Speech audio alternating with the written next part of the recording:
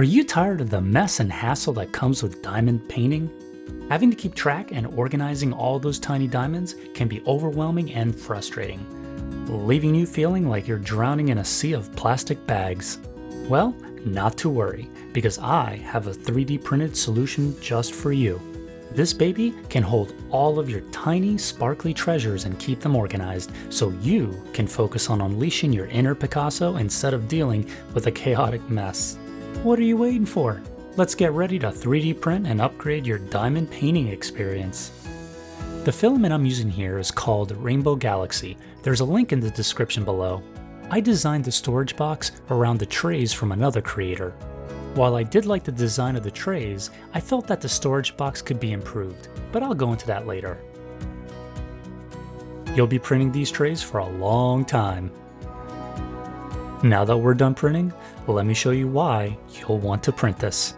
Every project has its own unique requirements, which is why this organizer comes in multiple sizes. Whether you require a few trays or a larger capacity, there is an STL file specifically tailored for your needs. Streamline your diamond painting process with these special trays. These ridges help align your rhinestones in the right orientation so it's easy to pick up with your drill pen. No more fumbling around when using these trays. On the front of the trays, you'll find a space where you can write down the color codes. Some projects can have over 50 colors. This makes it super easy to find what you need. After completing a project, simply wipe down the trays for easy cleanup, allowing you to reuse them for your next project. Even though this was primarily designed to hold rhinestones, it could just as easily hold other small items as well.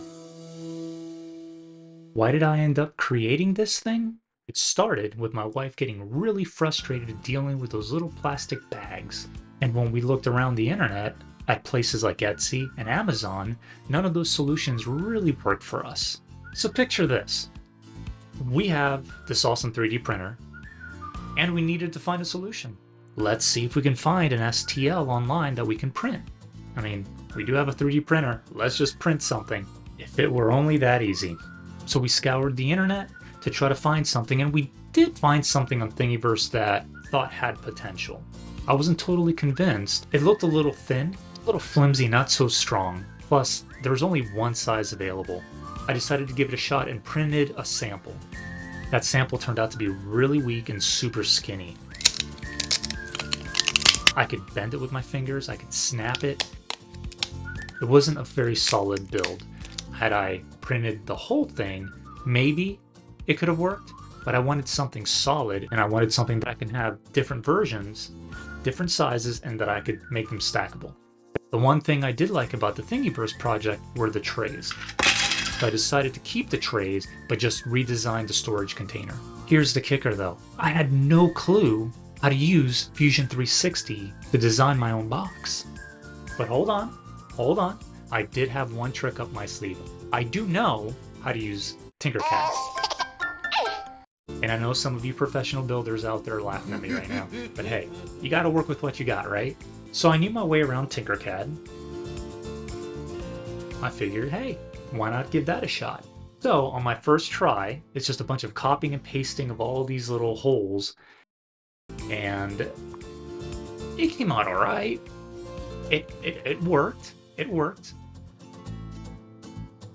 Nope. And of course, with Tinkercad, it's kind of hard to control the precise measurements of just anything you're working with because it's just a bunch of copy pasting, moving stuff around. But in the end, I was actually able to come up with something that I could print. And hey, I designed it. It might not be a rocket engine, it might not be some complicated design, but it's my design. And I did it. And you got to start somewhere. So after a couple of hours with Tinkercad, this is my first prototype. However, however, it had some glaring issues. This thing is a brick. It is heavy. The walls are solid. It used up half a roll of filament. Not something that I'd want to print over and over. And quite honestly, I knew I could do better. There's no excuse for this to be using half a roll of filament.